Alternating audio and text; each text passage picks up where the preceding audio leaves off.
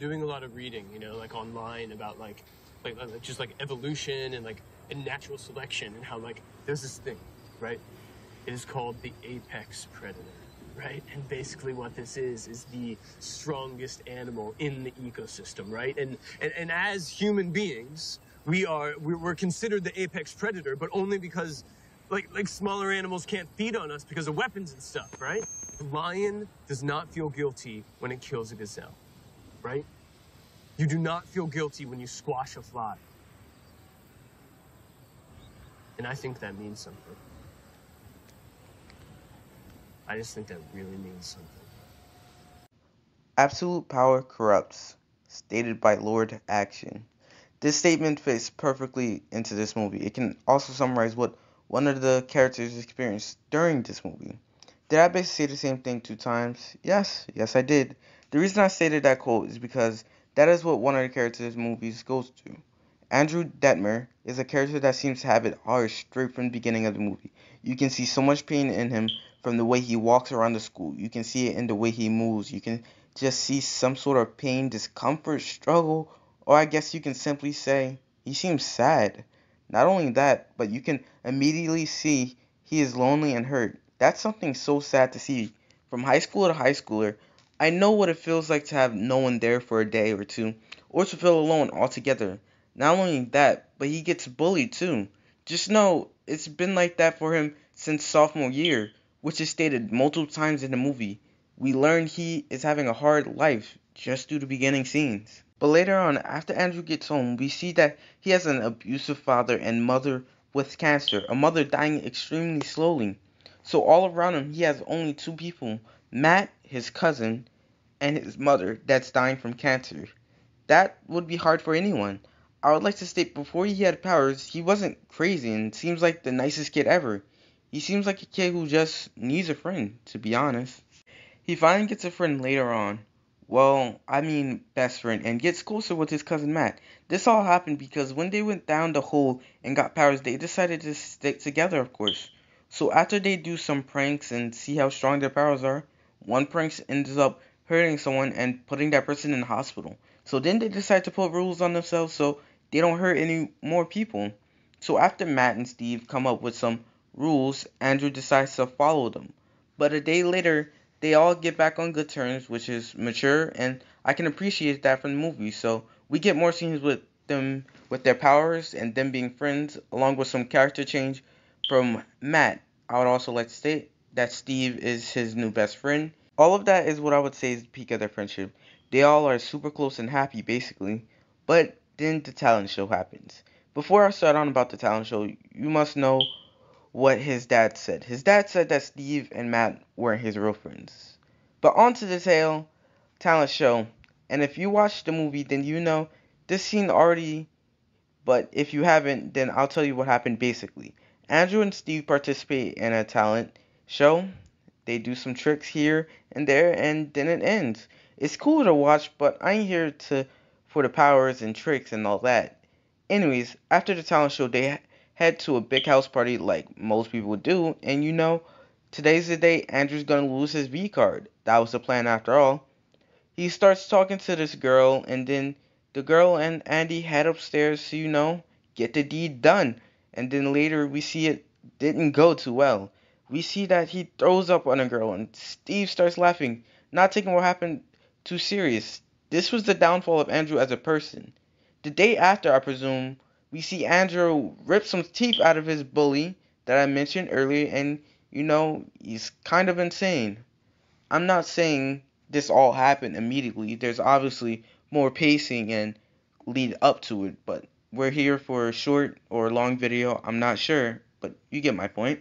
By the way, this is where the movie starts to escalate very fast, in a good way though. Okay, so after he did that, he and Matt have an argument, which Andrew wins because you know. Then later on, we see he has no money to get his mother medicine.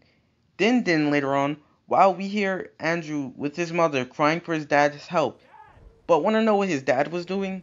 Looking in his room, his mother was in pain. His father finds the camera and then starts to blame him for everything and starts hitting him until, you know, my boy starts fighting back. But, you know, after beating his dad, he leaves. he goes flying. He goes flying in a thunderstorm, threatening his own life. Steve, being the real friend he is, goes to check up on him. But everyone knows it's hard to help somebody who doesn't want to be helped. Steve tries to get Andrew, which is only causes him to get angrier since he's just a guy deep down in his heart. With all the anger in his heart, he accidentally hits Steve with a lightning strike, killing him. We see another argument happening at Steve's funeral with Andrew and Matt, of course. Matt was just trying to understand what happened, which starts to cause Andrew to get more upset, and this is all leading to more and more. Okay, that's all tragic and all that, right? I have two more things to talk about that me not including so many little but major things in this sad movie. The two things I have to talk about is Andrew's mindset, which will be very brief, and the ending, which is great, and I already spoiled parts of the movie, I believe, but if I didn't, then spoilers ahead.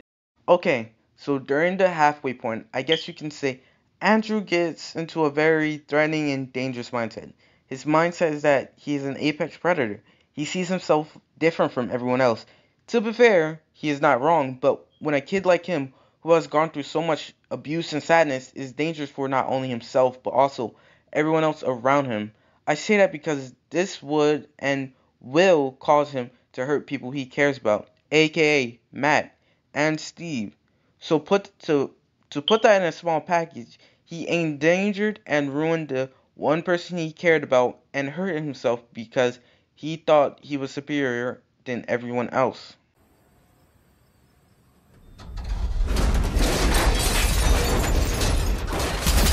Okay, and now we will talk about the ending, which hits the mark. So you all know his father is useless. Since we all know that, Andrew being the good son he is, he tries to get his mother medicine. But he's broke and his father is useless, so he decides he's gonna rob some thugs, in quotations. He does that and still doesn't have enough money, so he decides to rob a gas station, which goes well until he walks out the store. When he walks out, the store owner shoots him, and Andy, being the goat he is, deflects them into the gas bombs, blowing himself up, leading himself into the hospital, knocked out. While at the hospital, his father goes there and tells him that his mother had died and it's just all his fault and some other things. Just as his father is about to hit him, Andrew wakes up from his sleep, picks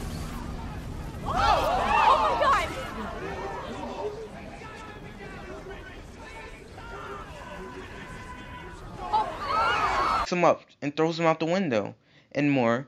I won't say too much on what happens because it's that final scene is fun to watch. I'll just say the final things that happen are that Andrew dies by Matt. I would say a couple days, weeks, or months later, Matt goes to the mountains with a camera, saying goodbye to his cousin, leaving the camera somewhere that Andrew wanted to live at. Somewhere where and where everyone else is gone. Somewhere where he was alone. That's the tragic story of Andrew Detmer. That is Chronicle, a tragic story. Alright, so I'm just gonna put memes in the background for, you know, outro. But uh like the video, share and comment and anything you wanna discuss or anything. Follow me on Twitter at Cam that meme man and well Cam that movie man, my bad. And I hope you enjoyed the video. Stay safe in quarantine. We could talk more another day. Bye. Love you guys. See ya.